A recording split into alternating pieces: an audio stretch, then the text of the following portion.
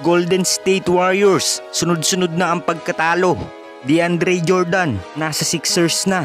At Draymond Green, pinagtanggol sila Lebron sa mga Laker fans. Yan ang update natin ngayon mga Lods. Ngunit bago ang lahat ay huwag nyo munang kakalimutang mag-like and subscribe for more NBA updates. Salamat po. Sa muling paghaharap nga dito ng Golden State Warriors at Dallas Mavericks, nakuha nga dito ng Dallas ang panalo sa score na 122 to 113. Sa game nga na to ay naging kontrolado nga dito ng Dallas Mavericks ang buong game. May pagkakataon pa nga sana dito ang Golden State Warriors na maipanalo ang game sa pangunguna nga yan ni Moses Moody.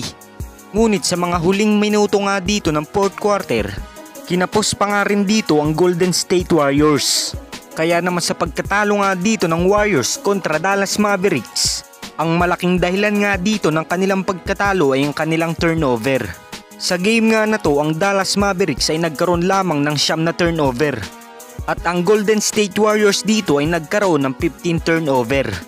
Overall performance nga dito ng Warriors ay okay naman. Ngunit turnover talaga dito ang pinakadahilan ng kanilang pagkatalo sa game na ito. Sa tuloy-tuloy nga dito ng pagkatalo ng Warriors, dapat na nga ditong gumawa si Steve Kerr ng magandang adjustment upang hindi nga dito masayang ang mala MVP performance ng two-time MVP. Kayo mga Lods, dapat na bang mag-alala ang Golden State Warriors sa kanilang sunod-sunod na pagkatalo? Comment down below lang mga Lods.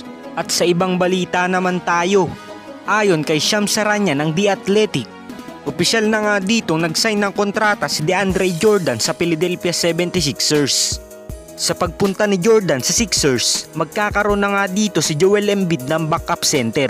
At mas makikita nga natin dito ang full potential ni DeAndre Jordan dahil alam nga nating magaling si James Harden magbigay ng play para sa mga big man. Kaya naman asahan na nga natin dito ang mga love passes na pasa ni James Harden kay DeAndre Jordan. Kung sa team nga ng Lakers ay hindi nga siya nagagamit ng maayos, for sure nga sa team ng Sixers, expect na nga natin dito makikita natin ang kanyang full potential dahil alam nga siyang gamitin ni Doc Rivers noong nasa kupunan pa lang sila ng LA Clippers. At tumungo naman tayo sa pahayag ni Draymond Green. Sa struggle nga ngayon ng Los Angeles Lakers, maraming ang mga fans ang nadidismaya sa kanilang ipinapakitang performance ngayong season. At umabot pa nga ito sa pangangantyaw ng mga fans kay Lebron James at sa iba pang players ng Los Angeles Lakers. Dahil dito, nagbigay nga dito ng reaksyon si Draymond Green. Ayon nga sa former Defensive Player of the Year, ang team nga daw ngayon ng Lakers ay nanalo na ng kampyonado taong 2019-2020 season. Ngunit nagtataka nga dito si Draymond Green, sa kabila nga ng kanilang kampyonado, ganito naman ang sukli ng mga fans para sa mga players ng Los Angeles Lakers ngayong season.